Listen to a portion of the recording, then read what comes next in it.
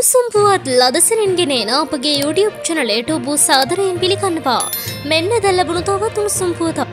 ශ්‍රී ලංකාවේ ප්‍රජාතන්ත්‍රවාදය ක්‍රමෙන් විනාශ කරදමමින් නැති බවද ශ්‍රී ලංකාවේ සිටින ඇමරිකානු තනාපතිනී ජුලිචන්් මහත්මිය සඳහන් කරයි.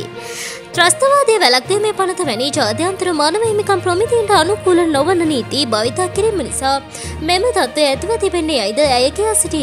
තම ට්‍රිටර් කිනුමේ සටහනක් තබමින් ඇය මේ බව කියා තිබෙයි.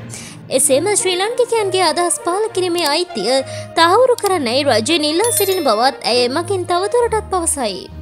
මෙවැනි උණුසුම් පුවත් ලදසනින් දැන ගැනීමට අපගේ YouTube චනලේ සබස්ක්‍රයිබ් කර බෙල්ලයිකරින් ක්‍රියාත්මක කරන්න.